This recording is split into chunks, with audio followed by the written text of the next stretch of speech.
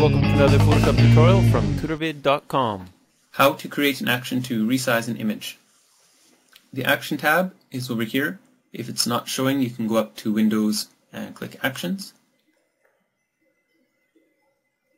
If you're making a new set of actions, you can create a group for them. Click on this group button and type in the group name. And then to start your new action, press on this new action button and I'll type it as resize, name it as resize, and say I'm going to name them 600, resize them to 600 pixels.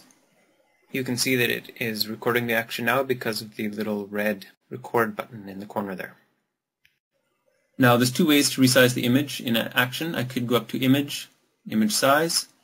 If all the images were the same height to start with, this would work, or if they were all square. But if I wanted to resize both vertical and horizontal images in one action.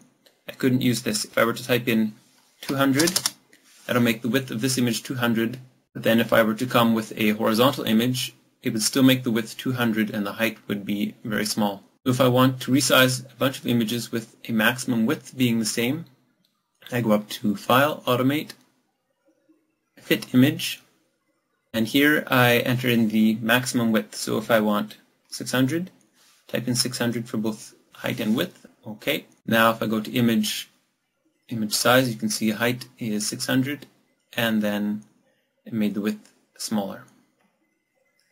Now to finish my action, if I want to save this image somewhere, I just type in File, Save As, and then go to a folder or wherever I want to save it make sure you don't change the file name. You change the file name, and it will change the file name of every image you save in the action, and it'll keep saving the images over top of each other. So you should save the images in a new folder other than where they were read.